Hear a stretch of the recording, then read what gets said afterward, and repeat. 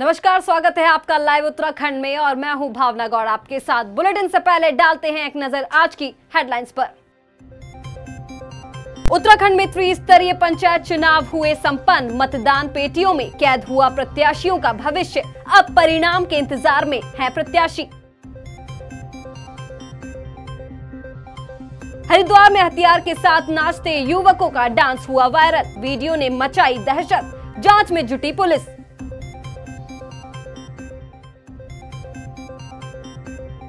Cabinet मंत्री हरीशचंद्र दुर्गापाल ने CM Trivendra Singh Rawat पर बोला हमला। कई मुद्दों को लेकर कसा तंज पंचायत चुनाव में जीत का किया दावा।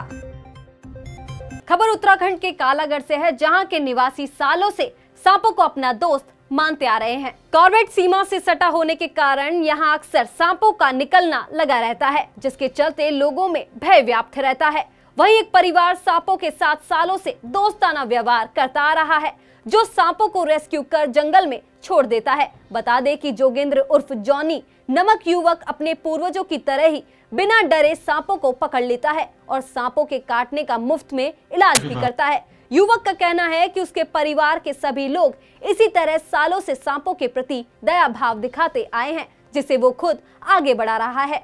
वन भूमि वाला क्षेत्र है। तो यहाँ पर अमूमन दो तरह के सांप होते हैं। एक तो जो ज़्यादा टॉक्सिसिटी वाले होते हैं, जो ज़्यादा जहरीले सांप होते हैं। और दूसरा आमतौर आमतौर पर जो सांप पाए जाते हैं, वो भी यहाँ पर है। तो सबसे खतरनाक जहरीले सांप होते हैं, जिनसे इंसान को बहुत ही जल्दी मृत्यु हो सकती है, मृत्यु होने की संभावना होती है। तो अगर यदि किसी पेशेंट को, किसी व्यक्ति को अगर सांप स्नैक बाइट होती है तो उसको झाड़ फूक न दे करके उसको तुरंत नज़दीकी चिकित्सालय में जाना चाहिए। ताकि उसका जल्द से जल्द उपचार हो सके और उसकी जान बचाई जा सके। मैं खुद सर्व मित्र हूँ। सांपों को ना मारा जाए, सांपों को बचाया जाए और किसी भी तरह का कोई सांप काटता है, हम आपके लिए उपलब्ध हैं। और एंटी मैनम से लेके मेरे पास सब कुछ अवेलेबल है। मैं इतना ही कहना चाहूँगा कि सांपों को नहीं मारा जाए, सांपों को बचाया जाए। और अभी मैंने लगभग चार पाँच सांपे भी रिलीज़ किए हैं। तो बस ज़्यादा बात नहीं कहूँगा। उधम सिंह नगर ज़िले के सितारगंज ब्लॉक में तीसरे चरण के चुनावों को संपन्न करवाया गया। सितारगंज ब्लॉक के त्रिस्तरीय पंचायत चुनाव का मतदान संपन्न होते ही सभी प्रत्याशियों का भाग्य मतदान पेटियों में बंद हो गया। गौरतलब है कि मतगणना कुछ दिन बाद शुरू की जाएगी। सितारगंज ब्लॉक से कुल 824 प्रत्याशी चुनावी मैदान में उतरे, जिसके चलते ब्लॉक में कुल पिचासी दशमलव इक्कीस प्रतिशत मतदान हुआ। ब्लॉक में दो सौ बयासी बूथ बनाए गए थे, जिसमें एक बूथ संवेदनशील तथा निन्यानवे बूथ अति संवेदनशील रहे, लेकिन किसी तरह की कोई अप्रिय घटना नहीं देखी गई। खबर उत्तराखंड क्षेत्र से है, जहाँ कुछ युवकों का डांस का वीडियो वायरल हो गया। कुंवर प्रणव सिंह चैंपियन की नकल करते हुए कुछ युवाओं ने बंदूक की दहशत भरा डांस का वीडियो बनाया, जो कि हाल ही में सोशल मीडिया पर वायरल हो गया। इस वीडियो में बकायदा दो हथियार, कार्बाइन और पिस्टल लेकर सुबोध ममगई नामक व्यक्ति नायक नहीं, खलनायक हूँ मैं, गाने पर झूम रहा है और उसके साथ चार से पाँच लोग नज़र आ रहे हैं। वीडियो वायरल होते ही हरिद्वार पुलिस भी हरकत में आ गई और इस मामले की जाँच में जुट गई। वीडियो दिखाया गया है। इस वीडियो के बारे में हम तस्दीक कराएँगे कि ये कौन व्यक्ति है और इस व्यक्ति के द्वारा इस तरीके की कार्रवाई किन परिस्थितियों में ये किया गया है।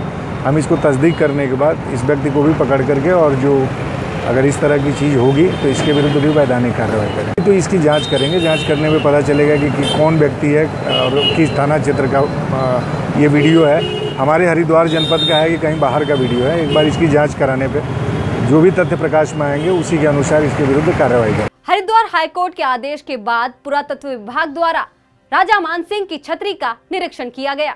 हर की पेड़ी पर स्थित राजा मानसिंह की छतरी को पुराने स्वरूप में लाने की तैयारियाँ की जा रही है। मेला प्रशासन अधिकारी दीपक रावत ने पुरातत्व विभाग अधिकारियों की टीम के साथ राजा मानसिंह की छतरी का निरीक्षण किया। निरीक्षण से पहले मेला अधिकारी ने सभी पक्षकारों के साथ बैठक कर उनकी राय जानी, जिसके बाद निरीक्षण के दौरान मेला अधिकारी ने बताया कि हाईकोर्ट के आदेश के अनुपालन में राजा मानसिंह की छतरी को मूल स्वरूप में वापस लाने का प्रयास किया जा रहा है। ऑनरेबल हाई कोर्ट के एक तरह से ऑर्डर्स हैं कि जो राजा मानसिंह की छतरी है, इसका जो पुराना स्वरूप था, उसको कैसे रेस्टोर करना है? अब देखना इसमें केवल ये है कि जो इसका स्ट्रक्चर अभी अंदर से पुराना वाला है, क्या वो इतना मज़बूत है कि अगर हम उसको रेस्टोर करते हैं तो वो खुद ब खुद अपना भार झेल लेगा, खुद ब खुद स्टेबल रहेगा, मौसम ख़राब होगा, बारिशें होंगी तो उसको ठीक से सह सकता है या नहीं? अगर ये सह सकता है और ऐसी रिपोर्ट हमें एक्सपर्ट्स दे देते हैं तो हम उसी को रेस्टोर कर देंगे। अगर ऐसी बात होती है कि साहब नहीं, इसमें वो मजबूती अब नहीं रही, कालांतर में वो कम हो गई है तो उस दशा में उसको डिमोलिश करते हुए नया स्ट्रक्चर बनाया जाएगा, जो कि यथासंभव पुराने स्ट्रक्चर का जो ड्राइंग है प्लस उसमें जो इंग्रेडिएंट्स हैं, उसी के हिसाब से वो बने। खबर उत्तराखंड के रुद्रपुर से है, जहाँ पर आवारा कुत्तों द्वारा एक बच्चे को अपना शिकार बना लिया गया। खेड़ा वार्ड नंबर 18 के अंकित पाल नाम के एक बच्चे पर इलाके के आवारा कुत्तों ने हमला बोल दिया, जो कि गंभीर रूप से घायल हो गया। सूचना मिलने पर परिवार वाले अपने घायल बच्चों को उपचार के लिए तुरंत जिला अस्पताल ले गए। बताया जा रहा है कि आवारा कुत्तों ने अब तक दर्जनों पर हमला कर घायल कर दिया है, लेकिन प्रशासन द्वारा इस मामले पर कोई पुख्ता इंतज़ाम नहीं किए गए, जिसके चलते स्थानीय लोगों में आक्रोश देखा जा रहा है। उत्तराखंड के लालकुआ में कैबिनेट मंत्री हरीश चंद्र दुर्गापाल ने त्रिवेंद्र सरकार पर निशाना साधा है। इस मौके पर हरीश चंद्र ने बेरोजगारी, स्वास्थ्य सेवाओं और अन्य मुद्दों को लेकर प्रशासन पर तंज कसा।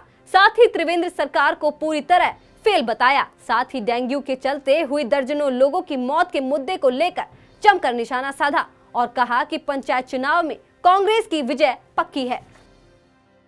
फ़िलहाल खबरों में इतना ही। तब तक के लिए बने रहें लाइव उत्तराखंड के साथ।